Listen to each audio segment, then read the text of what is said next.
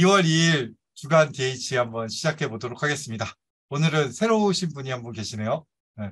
어, 새로 오신 분은 이제 박수부터 와, 새로 오신 분은 이제 김병준 선생님이 잠깐 소개시켜 주시겠어요? 네, 오늘은 어, 초대석이 있습니다. 원래 이렇게 초대를 이제 자주 하지는 않겠지만 가끔 이렇게 할 예정이고요.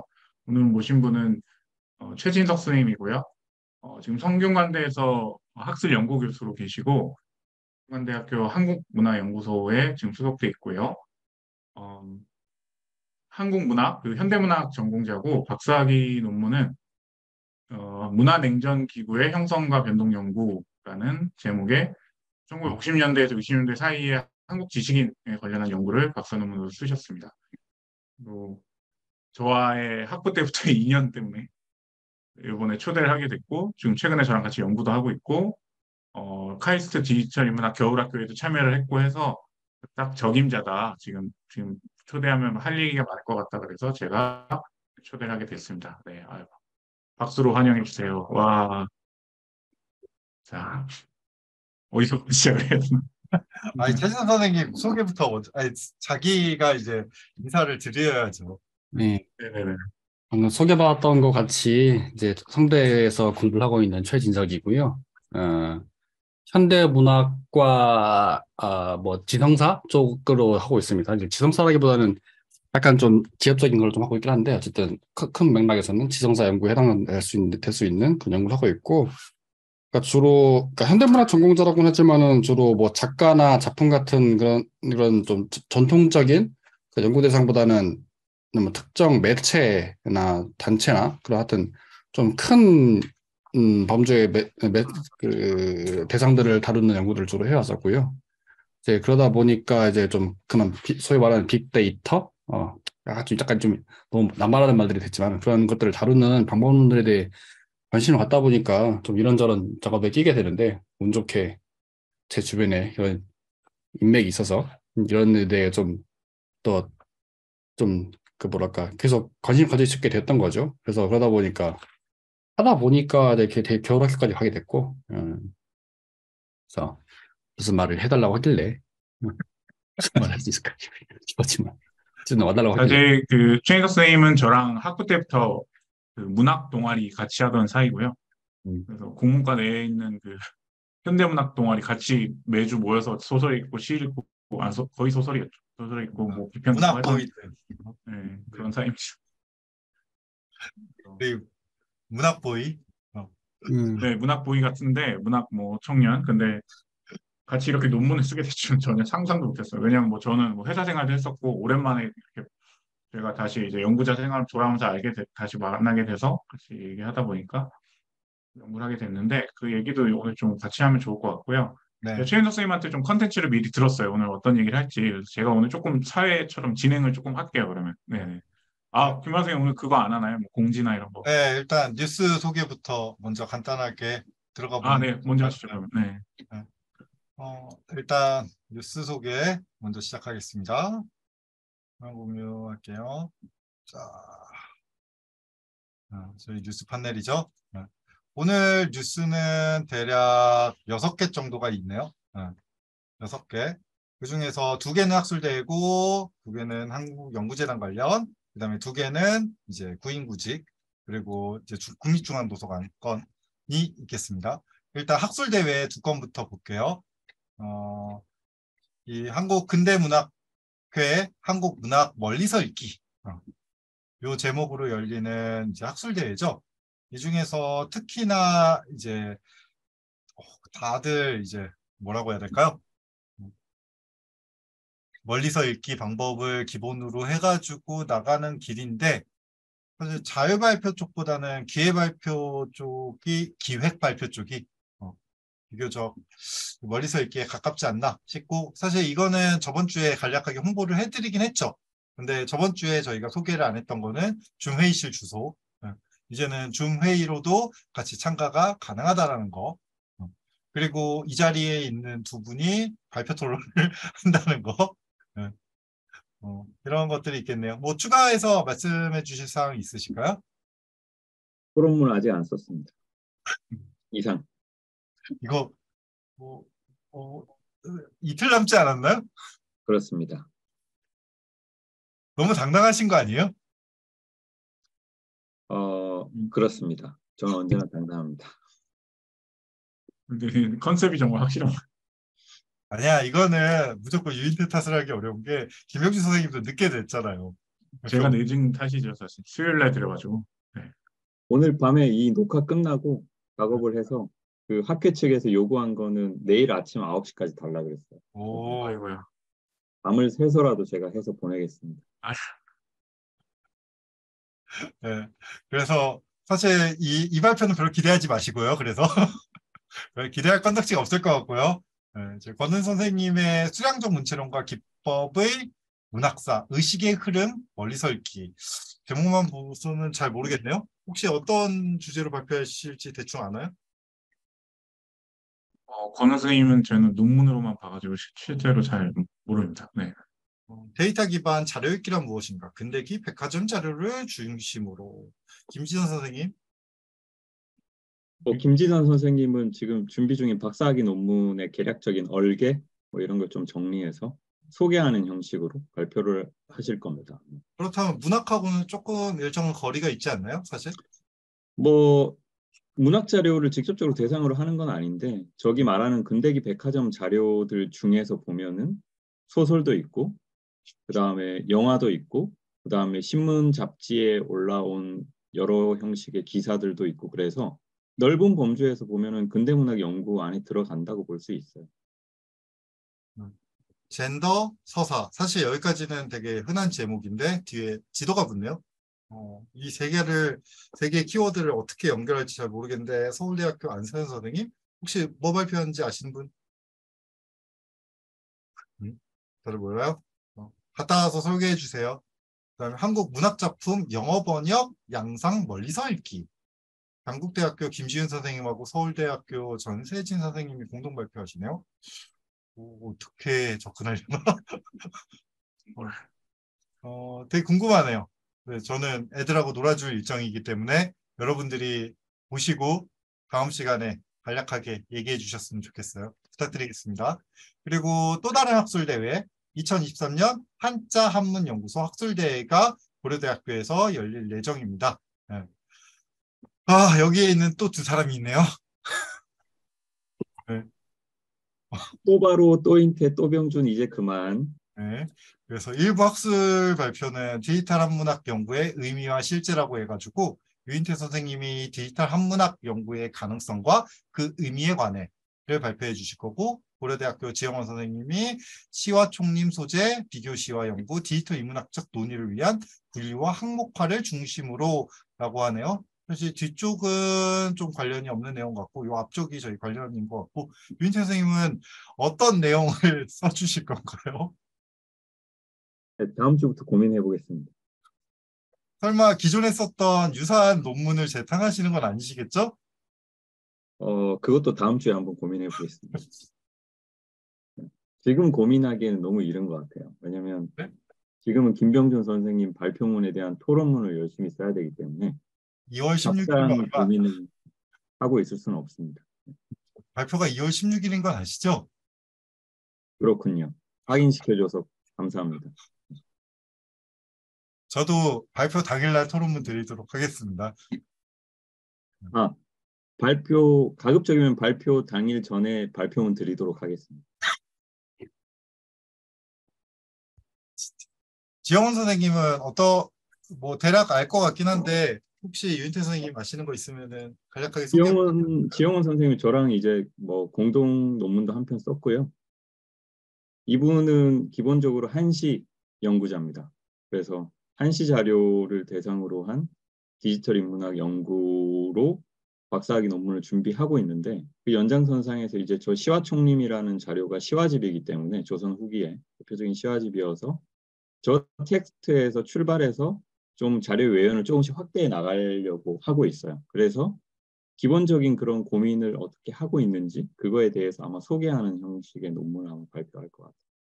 음, 네. 이기란 선생님이 토론하시고요. 어, 뭐 여기는 뭐 역시 온라인도 참가가 가능하거든요. 근데 저는 이제 토론자이니까 예의상 참가할 예정입니다.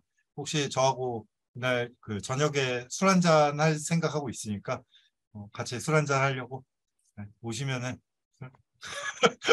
해주시면 아, 그 제가 하나 더 말씀드리면 제가 관계자로서 말씀드리면 이 학술대회는 발표자만 의무적으로 오프라인 현장에 참여해야 되고 네. 발표자를 제외한 나머지 인원은 자유예요. 온라인으로 참여해도 됩니다.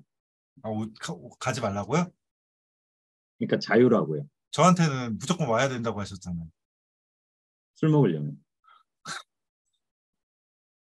여기까지.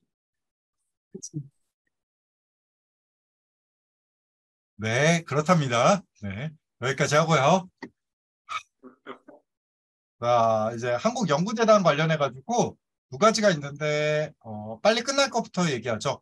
지금 유튜브, 뭐, 공- 정식 공지는 안 됐는데, 그 한국연구재단 유튜브에 공개된 내용입니다. 지금 2023년 인문사회 학술 지원 사업 관련해 가지고 설명회가 2월 7일, 그러니까 다음 주 화요일이죠. 다음 주 화요일 2시부터 16시 15분까지 열릴 예정이라고 합니다. 지금 유튜브를 보면은 그 유튜브 가보시면은 이렇게 예약 있죠. 그래서 알림 받기 미리 세팅해 두시면은 어, 정해진 시간에 알림을 받으실 수도 있고요. 어, 올해 조금 이것저것 바뀐 걸로 알고 있는데 어, 많이 들으셨으면 좋을 것 같습니다. 그래서 이번에 바뀐 거에 대해서 이제 인문사회 어, 연구본부 본부장님이 바뀌셨죠? 네. 원래 원래 서울대학교 어느 분이셨더라? 죄송합니다. 서울대학교의 이강재, 이강재 이강재. 자, 이강재 교수님이셨는데 이제 전호영 교수님으로 바뀌셨는데 이제 한양대 로우스쿨에 계시는 선생님이고 이번에 조금 주요 내용으로 바뀐 게 신규 과제 사업 개시를 연이두 번으로 바꾸는 거. 예.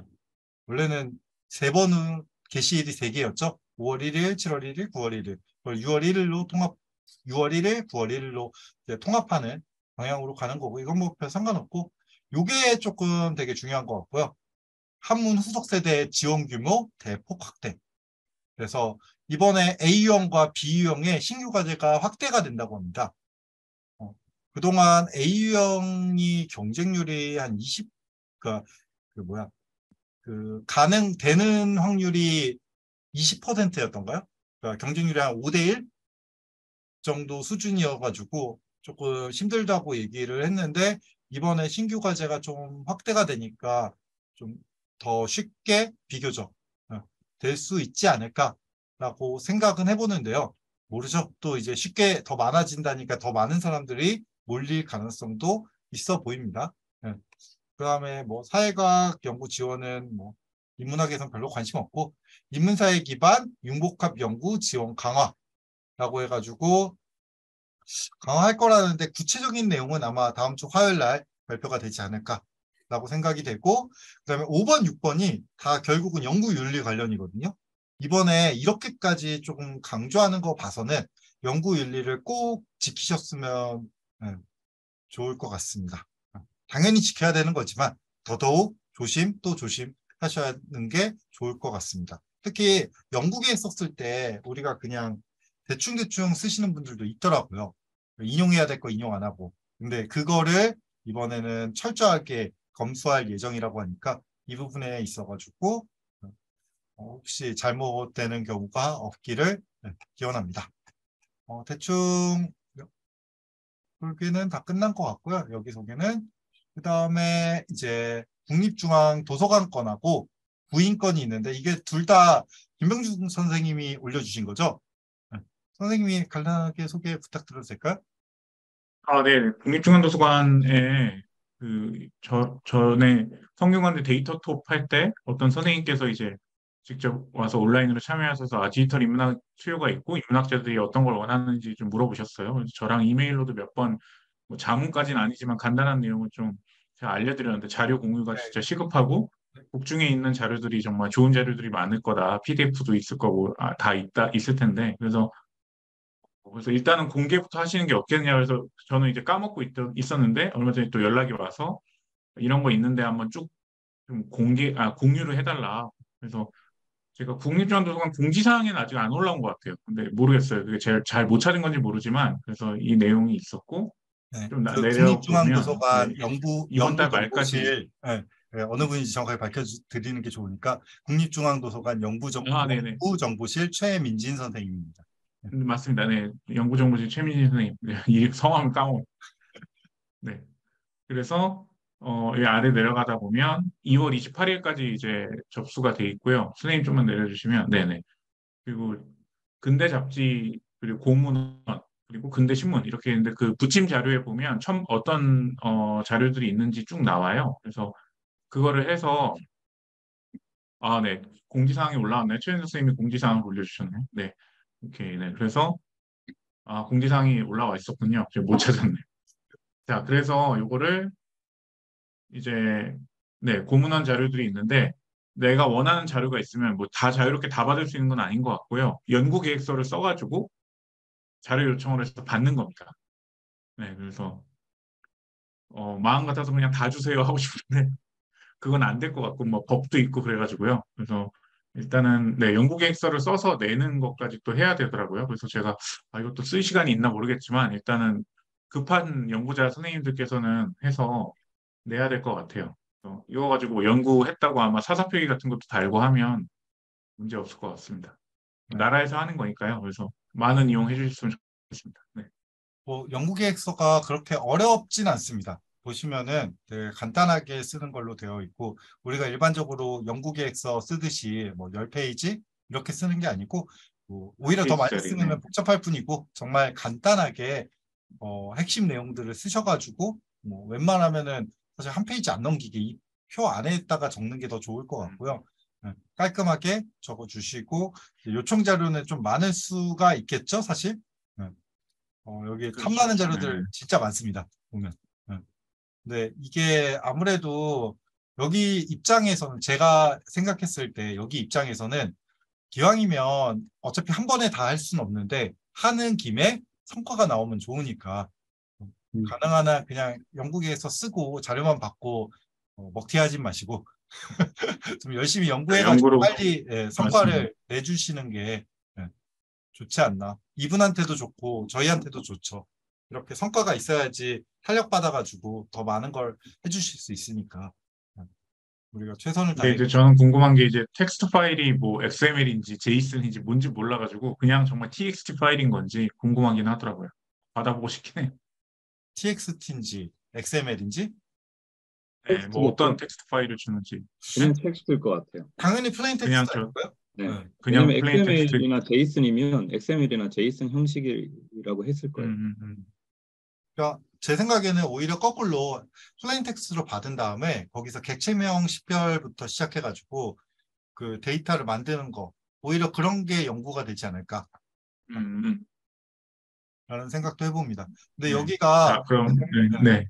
근대만 있는 게 아니고 진짜 고문원 쪽도 있기 때문에 어, 음. 제가 얼핏 듣기로 탐내하시는 분이 꽤 있더라고요. 이쪽. 네, 고문원이 사실 난이도가 더 훨씬 더 높은데 뭐 잘하시겠죠. 어. 네, 그리고 그 다음은 이제 경북대학교 미디어 커뮤니케이션 학- 아, 네, 그다음 네. 경북대학교 미디어 커뮤니케이션 학과 박창경 교수님이 저, 어, 뭐 저한테 부탁한 건 아니고 그 페이스북에 올린 글이 있는데 저랑도 한번 식사도 했었고 이제 강연도 한번 제가 했었는데요. 경북대학교에 있는 인문사회 연구소의 사업이 이제 한인 디아스포라 디지털 아카이브 자- 사업이 있어요. 그래서 디아스포라 있는 그런 많은 한인들의 데이터, 뭐 구술사도 되고 여러 뭐 자료 같은 것들을 다 모으는 그런 archiving 사업이 있는데 어 그거 가지고 이제 막 박사급 연구원을 뽑는 것 같습니다. 그래서 그 박창경 교수님은 커뮤니케이션 연구자긴 한데 어쩌다 보니 계산 사회과학 쪽 연구를 하세요. 근데 이제 어쩌다 보니까 이런 연구까지 같이 하게 되셔서 포함이 돼서요. 그 메타데이터 생성하는 거, 뭐 이른바 문헌정보학과 쪽에서 좀 많이 하긴 하죠. 그래서 그쪽 이- 인력이 좀 필요하다고 해서 올려봤습니다. 음, 보수 조건이 뭐 그냥 무난무난하네요. 일반적인 연구 교수 네, 복지 수준이 그, 네, 인문사회 연, 네네. 경북대까지 가야 되는 거죠. 그렇죠. 네네. 어,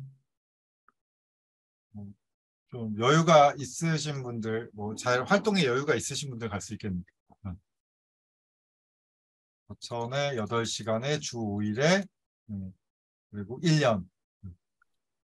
그리고 사업 기간 동안 1년 단위로 재계약. 응. 일단 기본 조건은 거의 연구 교수 응. 갖고 거의 비슷하네. 네. 구독과 좋아요 눌러주세요.